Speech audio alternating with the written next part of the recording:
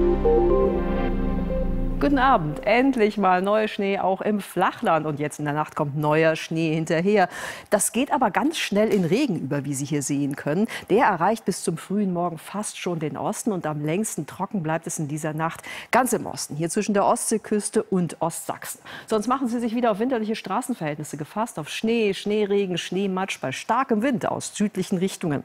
Die Temperaturen in dieser Nacht sinken auf plus 4 bis minus 5 Grad. Schnee und Regen der Nacht ziehen morgen über Tag Tag weiter ostwärts. Dann ist es meist stark bewölkt. Hin und wieder können Sie aber auch ganz schön die Sonne sehen. Zum Beispiel an der Nordseeküste oder auch an der Mosel. Es wird weiter schneien, besonders hier in den östlichen Mittelgebirgen, bei Temperaturen von 1 bis 3 Grad. Deutlich milder ist es schon im Westen. Und jetzt schauen wir in die kommende Woche. Da wird sich dieses Sturmtief über dem zentralen Mittelmeer nämlich nach Osten verabschieden. Und bei uns in Mitteleuropa etabliert sich ein Hoch.